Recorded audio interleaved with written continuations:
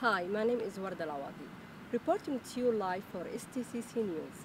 The weather today is beautiful and sunny. The temperature about 70s. Tomorrow it could be about 80s and a little bit hot. After tomorrow, there's chance to get rain. This is what we have today for Newscast. Wardah Alawadhi from Springfield Building, Massachusetts.